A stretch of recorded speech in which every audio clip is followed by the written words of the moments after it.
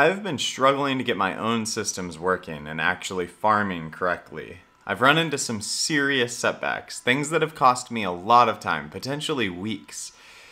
And I wanted to bring everyone along this journey that I've been on in the hopes that you don't run into the same problems that I have.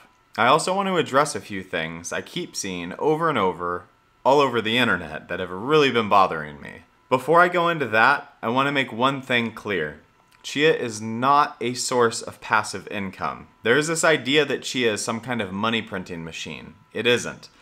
I'll be real with everyone here. I personally don't subscribe to the philosophy of such a thing. I think hard work is always part of the recipe to any type of success. Chia is no different. The barriers for entry to Chia are many. And if you're looking at it like some kind of easy button money generator, I think you'll be pretty disappointed in this. I don't think there is such a thing, and while I recognize that my opinion is going to be wildly unpopular, I think it needs to be said. The reason I started these videos in the first place by stating, up front, that I am not planning on selling any of my Chia or plots and that I actually believe in it as a technology was sincere.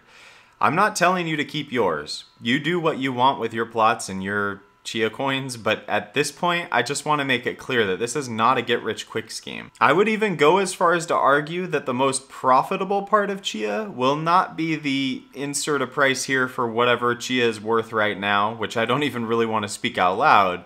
It'll be the journey itself a journey to get to a point where you build and maintain a well oiled system or a number of systems that can generate enough plots to farm Chia will also mean you journey through an experience that will level up your computer and IT skills quite a bit in one way or another. I don't care if you've been in IT for years as a computer engineer or if you're an IT architect. You will learn so much from going through the journey itself, and ultimately, I think no value can be placed on that. Sure, you might earn some Chia coins worth some amount of Fed coin along the way, but at the end of the day, I promise you, the knowledge gained, no, earned, will be so much more valuable in your life than any Chia you farm. This might sound philosophical, and if you were hoping for a video telling you how it's going to the moon or how you're going to be rich if you do these five things, just click away now. This isn't that. This is a reality check. I want everyone to know that there is hard work required to get there from here, just like anything else in life. I want to help the community and watch this grow into what I truly believe it could and should still grow into. But I also want to share my own concerns and things I've personally struggled with on my journey that might help you on your journey. So let's get started. I keep seeing this over and over. There's this idea that the builds that I've shared are not capable of the amount of plots I've said they are. I have never posted a video making a claim that I haven't personally observed myself.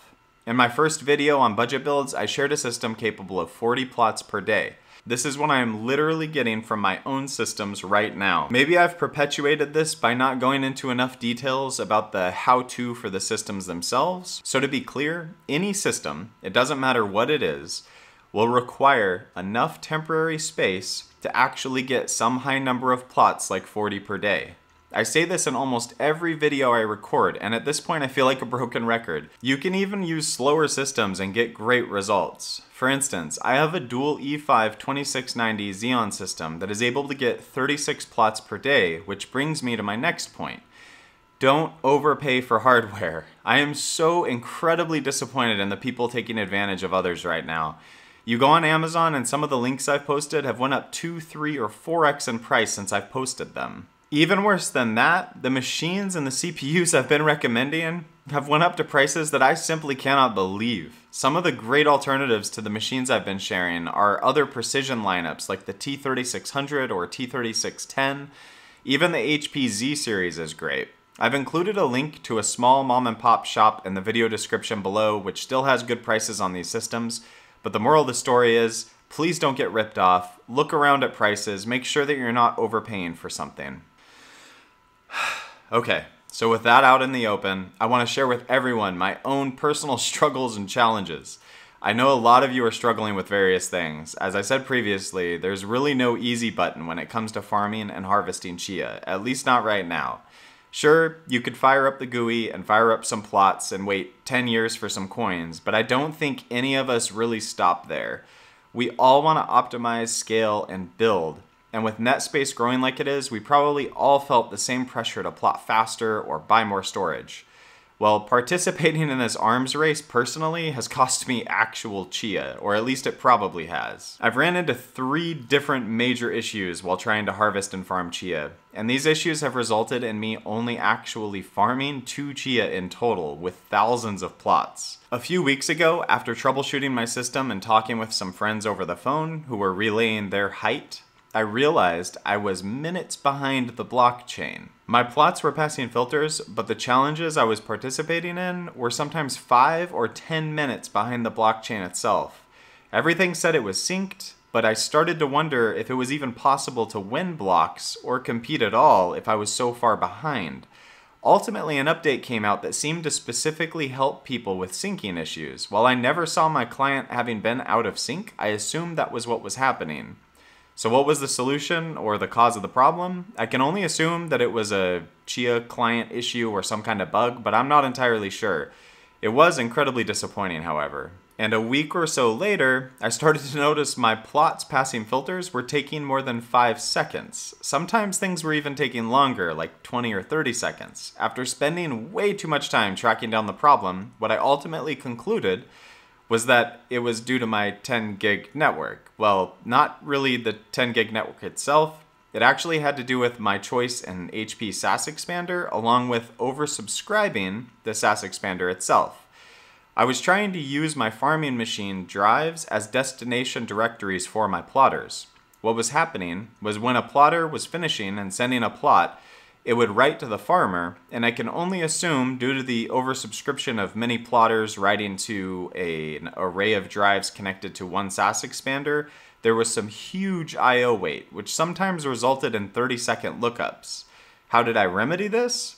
Well, I ended up adding more HBAs and more SAS expanders to make them less oversubscribed. I also used a slow NVMe drive on my farmer to receive the plots and then a quick script that I wrote moves them to their final destination after the file copy completes over the network.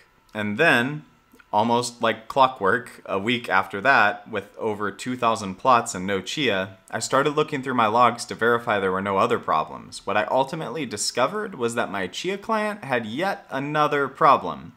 It was only competing in about 1.8 challenges out of the 6-ish that it should have been competing in per minute. This meant I was participating in less than one third of all challenges. The first question I asked myself was, how long has this been going on for? Well, longer than I had logs, and I was saving my logs to an Elasticsearch cluster, so they went back weeks. So I started troubleshooting. I started by restarting the client, restarting the computer, uh, I deleted the SQLite databases, I reinstalled the Chia application from scratch, deleted my config, rewrote the config from scratch, and then I found my client behaving like it should have been behaving the entire time, passing around 6.5 filters per minute.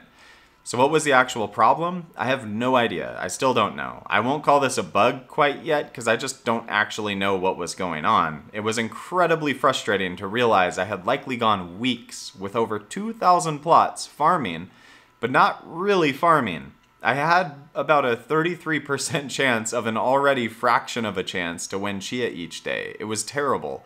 I was so irritated at this point that I even struggled with continuing on. But then I realized something. I work in IT professionally and I was struggling, but I was also learning. I realized that the most valuable thing for me personally wasn't the two chia that I'd earned yet, it was actually the journey. I've learned a lot. It's pushed me to start writing my own solutions to some of these problems, health checks, if you will, and that's what I would like to speak about next. If you asked someone about Chia today and what it needs the most, the answer would probably be pooling. But what I would argue is Chia actually needs better security models, better security practices, security walkthroughs, or safer third party developer app stores, if you will. What it really needs is vetted applications by the Chia group themselves and or they need to just write this stuff themselves.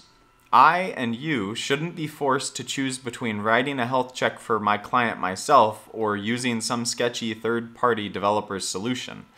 It doesn't seem particularly hard to incorporate some of this stuff into the client.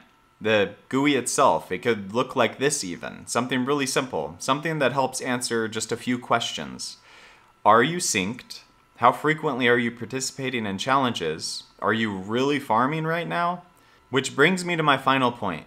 This is all new, and I get that. The team is likely working hard to improve and update things, and for all I know, this next update will have these things in it, like health checks. Even if that is true, there's still a huge void in this space in terms of security. There are great videos out there, like this one from Not Another Tech channel, and I highly encourage you to go check these out because they could help you troubleshoot your client and verify if you're really farming like I wasn't. But at the end of the day, we, as content creators, are still telling you to go trust some third party developer who, some of which have already taken advantage of you. If you aren't aware, there was a PowerShell script posted on Reddit and uploaded to some GitHub repo that claimed to help people sync but was really stealing people's chia. While I'm glad I've been overly paranoid about all this stuff, I do still feel really bad for those of you who might have been taken advantage of, and it's to no fault of your own. You've been forced to rely on some of these solutions, as not all of us can or are willing to write our own solutions. Nor do I think we should have to. My final message is to be careful out there. You don't know what you're downloading. Try and vet things before you run them, and hopefully, we will be able to center around a few trustworthy developers in the future instead of relying on somewhat random solutions on GitHub like we are now. So that's it. I know it's a bit somber, but I think this really needs to be said. I'm still farming. I still want to believe in Chia as a crypto, but I'm starting to feel a bit worn down from all of this. I'm going to keep making videos and keep supporting this project, but I will also maintain my own personal integrity and the integrity of this channel along the way. Thank you all for sticking with us and for supporting our channel. It really does mean the world to me.